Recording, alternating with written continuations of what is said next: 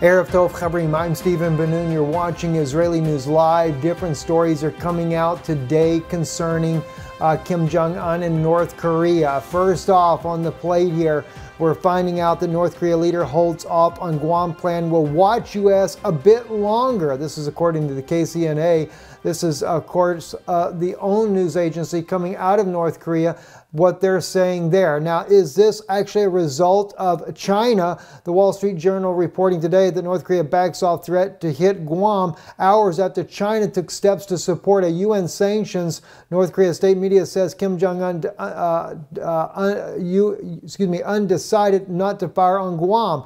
Could it be because uh, China now is going starting Tuesday to block coal imports, food imports, uh, uh, fish imports, etc., to the small nation that is very much a renegade nation? And if that's not to top it all off, seeing that the United States is ready, as General Mattis has said, who is actually now the Secretary of Defense for the United States under President Trump, said about North Korea if they were to attack Guam, it is game on.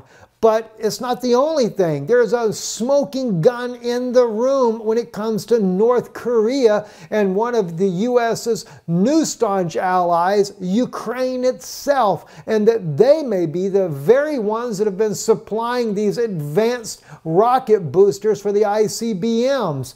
Remember, it was the United States that helped overthrow the government of Ukraine, uh, the pro Russian Yanukovych government there, in favor of Petro Poroshenko. Well, according to Tyler Durden with Zero Hedge, he writes here when the U.S. State Department supported Ukraine's domestic forces and nationalist elements to stage a successful and deadly coup against then pro Russian President Viktor Yanukovych in 2014, the outcome was supposed to be a nation that is undisputed U.S. ally and persistent threat, distraction, and non NATO opponent uh, to bordering Russia. Instead, it now appears that it has been Ukraine, which was uh, as the NYT writes, the secret behind the success of North Korea's allegedly nuclear capable ballistic missile program. Specifically, in the blockbuster reporting this, uh, this morning, the NYT alleges that North Korea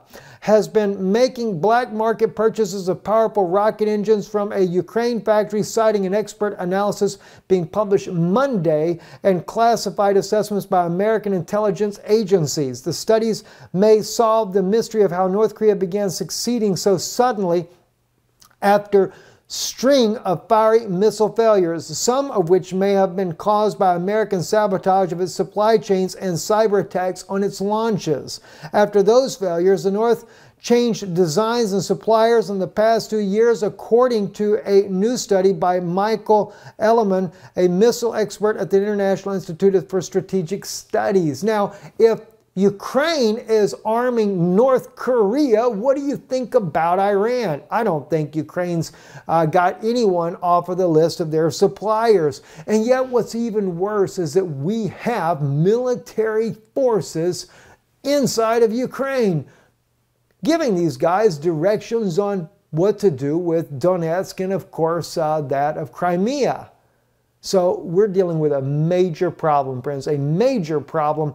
And finding out that North Korea, of course, is just a renegade state as it is, threatening uh, annihilation uh, of its neighbors and even the United States, hitting the mainland, trying to do devastating uh, effects there, only to find out the very nation that the U.S. has been helping has been the very nation that has been arming and supplying the very means to do so. I think maybe the U.S. should reconsider its relationship with Ukraine. And maybe they should sign an agreement with Russia and get back in good relationship after all. Of course, that's not the only thing that's going on either. Russian Defense uh, Minister uh, Victor, uh, uh, Sergei, um, I forget Sergei's actual last name there, but he is actually saying that there is victory over ISIS and ez-Zor uh, means an end of ISIS altogether.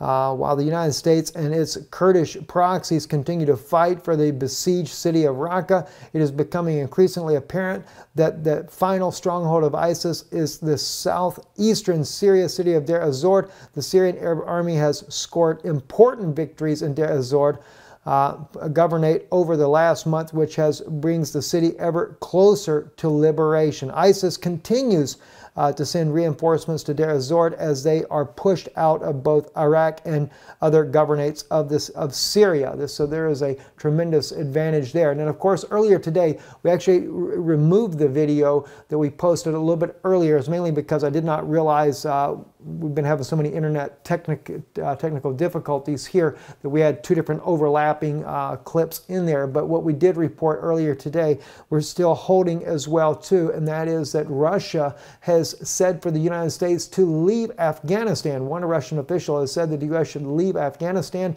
and let Russia come in and deal with the ISIS growing threat there in Afghanistan. According to the Russian officials, there has been unidentified, unmarked aircraft supplying ISIS inside of the country.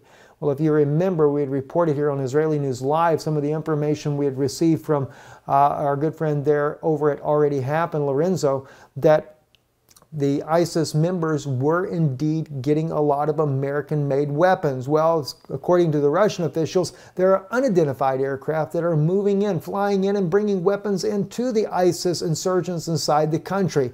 And Russia finds this a growing threat for all the Eastern Bloc nation, nations over in that area there, and Russia is ready to go in there and deal with the problem directly themselves. Will the United States Pentagon officials consider this a direct threat to the West?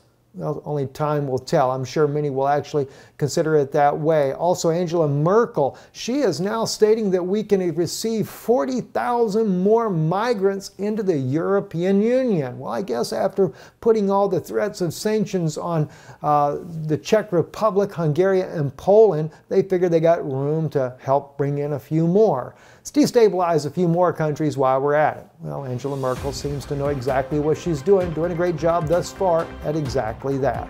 I'm Stephen Ben-Nun. You're watching Israeli News Live. Shalom and good evening.